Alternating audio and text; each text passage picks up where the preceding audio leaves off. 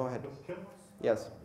30, 40, 50 years in the future, uh, are dreams or visions? Is some phase change going to happen? Will uh, nation states be there? Something like this?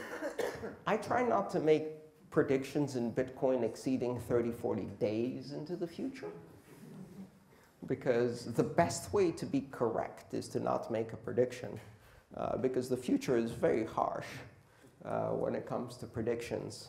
Um, the worst part is that if you make a really stupid prediction, you will go down in the history books like that guy who said the world will only ever need one computer. And that guy who said electricity is a fad for the Paris Fair and will disappear as soon as we dismantle the Eiffel Tower. Wrong on two counts in the history books.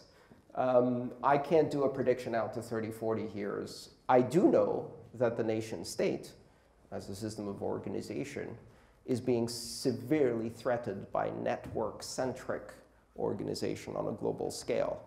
Today, the 10 largest populations in the world, four of them are nation states, six of them are internet applications.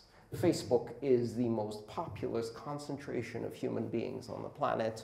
Instagram, Snapchat, WeChat, et cetera, et cetera. Follow that. Somewhere down there is China, India, and then in seventh place, the United States.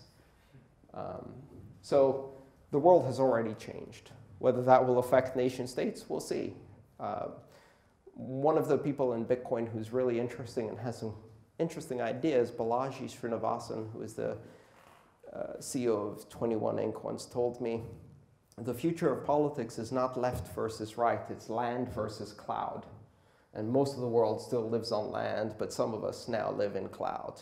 And land wants to keep us tied up and tax us based on where we live, but we don't live in any specific place. We travel by air all over the world, and this is going to be the dominant battle of the future the global community of the networked versus the landlocked feudalist past. We'll see.